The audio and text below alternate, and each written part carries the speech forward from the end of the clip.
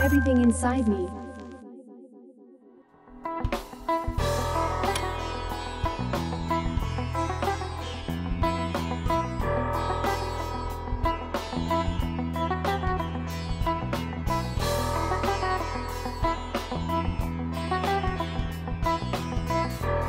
In 2016, Kanye West was handcuffed and forcibly sent to the UCLA Medical Center to undergo involuntary psychiatric commitment.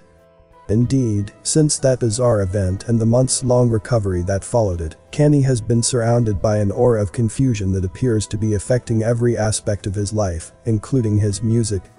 And Donda is a perfect example of that confusion.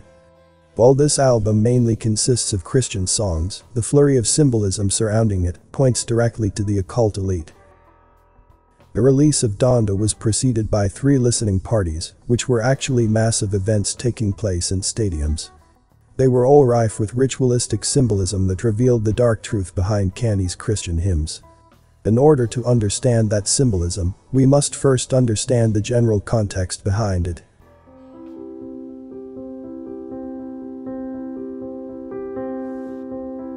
The album Donda was named after Kanye's mother who died in strange circumstances in 2007. Donda West, who was 58 years old, unexpectedly lost her life one day after undergoing liposuction, a tummy tuck, and a breast reduction. She died at home the next day following complications from the surgery. The day after her surgeries, West's mother allegedly experienced a sore throat, pain, and tightening in her chest before collapsing in the early evening.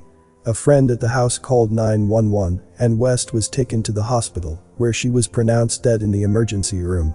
Donda died on November 10, 2007. After all these years, an aura of mystery still surrounds Donda's death. The actual cause of her death was never conclusively determined in, and the various parties involved in the death, notably the plastic surgeon Jan Adams, have all been accused of killing her. These bizarre circumstances contributed to the ever-intensifying rumors that Kanye sacrificed his mother for continued fame in the industry. Donda was not only Kanye's mother, but she was his manager who was actively involved in all aspects of his career. After her death, some noticed that Kanye's work became infused with occult imagery. While experiencing the death of a parent is a sad yet natural part of life, there was nothing natural about Donda's death and it appears to be eating away at Kanye every day. In a 2015 interview with Q magazine, Kanye was asked what he sacrificed for success. His answer? My mom. He added. If I had never moved to LA, she'd be alive. I don't want to go far into it because it will bring me to tears. This feeling of guilt appears to have deeply affected Kanye's mental health. And, since then, he only sunk deeper into the dark world of the occult elite. To make things worse, he became one of the many men who came out broken after his association with the Kardashian clan. After his involuntary psychiatric commitment, people close to him stated that Kanye suffered memory loss for months, which means that he underwent extreme treatment such as electroshock therapy. Kanye himself said that he was in the sunken place, a reference to the movie Get Out, where the main character gets hypnotized and dissociates with reality. In short, everything points to him being under mind control using MK Ultra techniques. Last year, Kanye made it clear that he wanted to break away from the Kardashians. He even accused the family of trying to send him back in 5150 involuntary psychiatric commitment. Did he break away from the Kardashians and the occult elite in general? The symbolism of Donda strongly points to no. Before I continue the video, please give a like if you've learned something. And don't forget to subscribe and also click the notification bell too so you won't miss any update. And watch to the end to avoid misunderstanding. Thank you.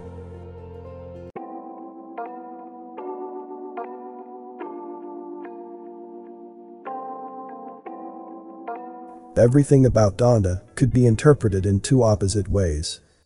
At first glance, the album appears to be a tribute to Kanye's mother. However, the album intro, which is just someone repeating the name Donda countless times, is immediately off-putting. Indeed, it sounds as if someone was trying to torment a guilt-ridden Kanye about the death of his mother. Most songs on this album could be characterized as Christian rap. However, nearly all of the symbolism surrounding it points directly to the satanic ways of the occult elite that control Kanye.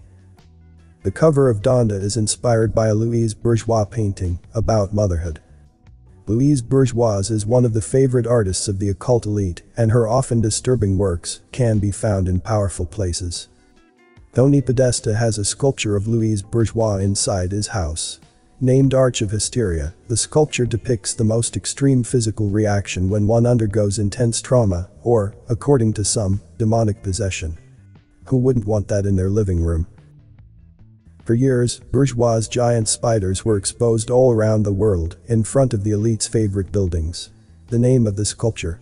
Maman, or Mother.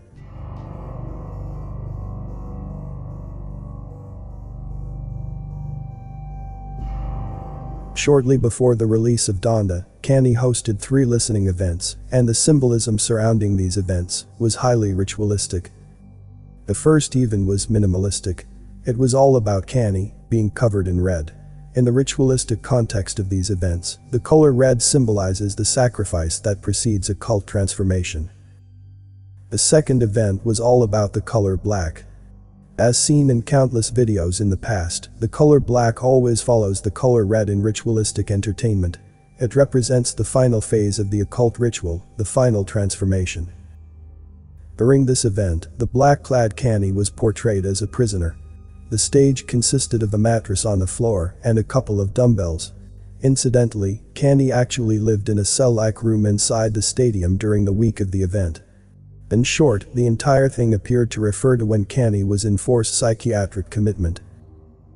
While the first two events were rather minimalistic in their approach, the third and last one, which took place in Kanye's native Chicago, had a lot more going on. It was nothing less than a massive ritual. The stage of the final event was basically a living painting. It was centered around a rendition of Kanye West's childhood home which was toppled by a crucifix, turning it into some kind of chapel. That chapel was surrounded by a barricade around which people dressed in black ran around incessantly. This entire scene was surrounded by black SUVs driving around, similar to those used by the American government. In short, everything about this scene points to an oppressive police state. At the center of it all this commotion is a humble chapel. Is Kanye trying to say that Christianity is under siege by oppressive forces? Well, it is not that simple. As stated earlier, everything about this event can be interpreted in two opposite ways. Is this house truly a chapel? Or is it the site of an occult ritual that is disguised as a chapel, and that is actually protected by the powers that be? One answer can be found in the people hanging around that house. Standing on the porch, Marilyn Manson, Shenseea, Dababy, and Kanye. In this living painting, these celebrities were not there to perform. They were selected to stand in front of that house because what they represent. Let's start with Marilyn Manson. What does he represent? This photo shows Manson with the founder of the Church of Satan, Anton LaVey. Manson was highly involved with this organization. An entire book could be written about the occult and satanic imagery in Marilyn Manson's work. It is at the very core of his art and even his personal life. This is the cover of Marilyn Manson's second album, Antichrist Superstar. Furthermore, in recent years, Manson was accused by numerous women of physical, psychological and sexual abuse. His ex-partner, Evan Rachel Wood, wrote on Instagram, the name of my abuser is Brian Warner, also known to the world as Marilyn Manson. He started grooming me when I was a teenager and horrifically abused me for years. I was brainwashed and manipulated into submission. I am done living in fear of retaliation, slander or blackmail. I am here to expose this dangerous man and call out the many industries that have enabled him before he ruins any more lives. I stand with the many victims who will no longer be silent. With all that being said, what was Marilyn Manson standing in front of that chapel? Is it because Kanye was trying to be Christ-like by bringing sinners to the house of God? I really don't think that Manson is remotely close to converting to Christianity. Manson was standing on this porch in his trademark makeup, which meant he was not there as Brian Warner, or the man, but as Marilyn Manson, the artist, who also dubs himself Antichrist Superstar. Anti. Christ. Is this chapel actually the site of a satanic ritual? Another guest at this chapel was Jamaican star, Shenseea. Only a few weeks ago, I published a video about her first music video, which was highly ritualistic and highly satanic. Furthermore, Shenseea's mother died unexpectedly shortly after she signing with Interscope Records, which spurred rumors of her sacrificing her mother for fame. Not unlike Kanye. In short, her being at the chapel is also another strong hint that this is not the house of God at all. When Kanye sings his Christian songs in front of these carefully selected celebrities, in a dark oppressive police state setting, something feels off. It is almost as if Kanye, and Christianity as a whole, are actually being mocked. The merchandise associated with Donda was also highly symbolic. On the left, Donda merch featuring the symbol of a cross inside a hexagram. On the right, the symbol of theosophy which includes an ankh cross inside a hexagram. Without going into details, Theosophy is an occult movement that is still highly revered by the occult elite. A brief look at the literature of this movement reveals that its most important figure is Lucifer, aka the Light Bearer. The name of Theosophy's monthly magazine was literally Lucifer. Why did Kanye, or whoever controls him, select a symbol that is clearly inspired by an occult movement that has the light bearer as its central figure? One thing is for sure, there was intense light at Kanye's chapel. At one point, the house irradiates intense light, hinting that something otherworldly is happening inside of it. Then, Kanye goes inside, and this happens. Kanye is engulfed in flames. The only word I can find to describe the scene is hellish. Then, Kanye walks around while literally on fire.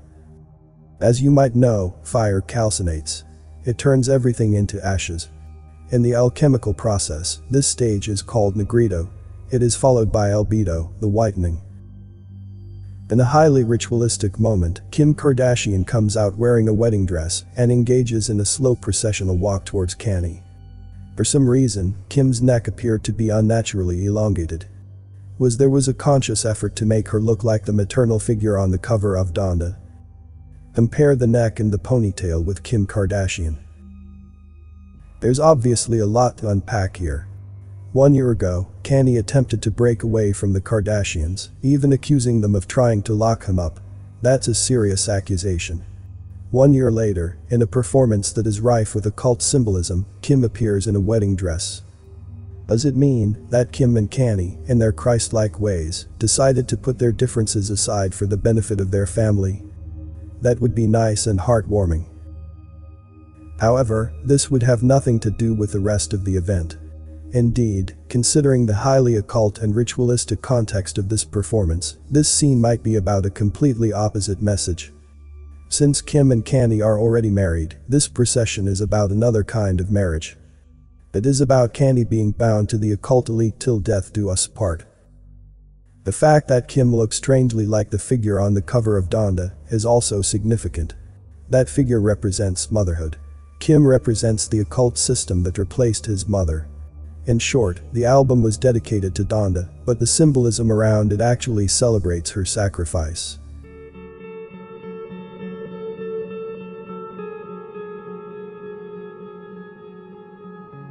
The symbolism of the last listening party perfectly represents Kanye West in 2021. His childhood home represents his origins, his family, his mother and his true inner self. On top of that home is a cross representing the Christian faith he is so vocal about. However, that is all a facade. Because that house has been deeply corrupted. Industry figures such as Marilyn Manson, aka Antichrist Superstar, walk around his house as if they own the place. Around his house are walls, mobs of people and government vehicles. He is tightly controlled by the occult elite and the power structure it represents. He cannot escape it. And, after catching fire inside his own house, Kanye ritualistically marries the mother of his children, who is the replacement of his own mother. As stated at the beginning of this video, everything surrounding Kanye in the past years has been rife with confusion. And, honestly, I am not sure if Kanye was a willing participant in this occult circus, or if he was forced to go through it. Did Kanye have to sacrifice Donda a second time in order to put out that album? Comment below with more topic ideas for me to discuss. As a lot of care and hard work goes into this, likes and subscribe, let me know I'm doing a good job. All is appreciated greatly. You may not agree with everything from the content I post. Apply critical thinking and use discernment to come to your own conclusions regarding the content. Thanks for watching this video. This Everything Inside Me channel, see you on the next video. Stay safe and healthy.